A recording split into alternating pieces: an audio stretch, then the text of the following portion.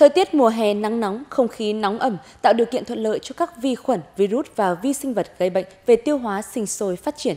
Ghi nhận tại một số bệnh viện trong tỉnh, số lượng bệnh nhân mắc các bệnh lý về tiêu hóa tăng từ 15 đến 25% so với thời điểm tháng 4. Rối loạn tiêu hóa, ngộ độc thực phẩm là những bệnh lý đang tăng mạnh số ca mắc tại các cơ sở y tế.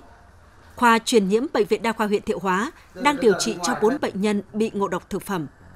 Các bác sĩ cho biết, vào những ngày nghỉ lễ hoặc cuối tuần, số lượng bệnh nhân nhập viện do ngộ độc thực phẩm còn cao hơn nhiều. Với mùa hè, tức là cái thức ăn à, họ nắng nôi, họ bảo quản không đảm bảo ở trong tủ lạnh.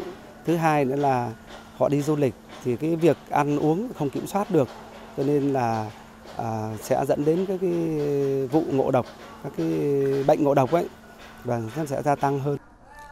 Còn tại Bệnh viện Đa khoa tỉnh Thanh Hóa, từ đầu tháng 5 đến nay, bệnh nhân nhập viện do các bệnh lý về tiêu hóa như viêm dạ dày, viêm ruột, ngộ độc thực phẩm, khó tiêu gia tăng khoảng 20%. Nguyên nhân gia tăng các bệnh lý về tiêu hóa mùa hè là do thời tiết nóng ẩm hiện nay là điều kiện thuận lợi cho các mầm bệnh, vi khuẩn sinh sôi và phát triển. Ngoài ra, nắng nóng làm cơ thể ra nhiều mồ hôi, gây mất nước, điện giải. Thức ăn thực phẩm dễ bị ôi thiêu, dễ nhiễm nấm và vi khuẩn là nguyên nhân gây bệnh đường tiêu hóa.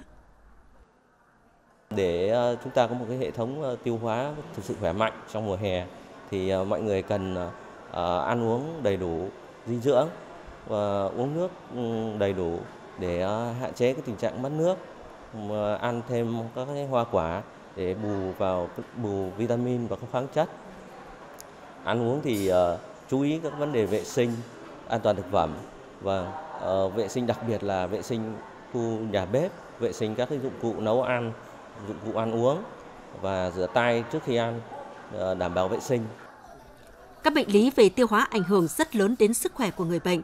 Nếu phát hiện và điều trị chậm trễ, người bệnh sẽ phải đối mặt với nhiều biến chứng nguy hiểm như trụy tim mạch, suy thận, suy gan, rối loạn điện giải, ung thư. Vì vậy, bác sĩ khuyến cáo khi có dấu hiệu bất thường về sức khỏe, người dân cần đến cơ sở y tế để được khám, tư vấn và điều trị kịp thời.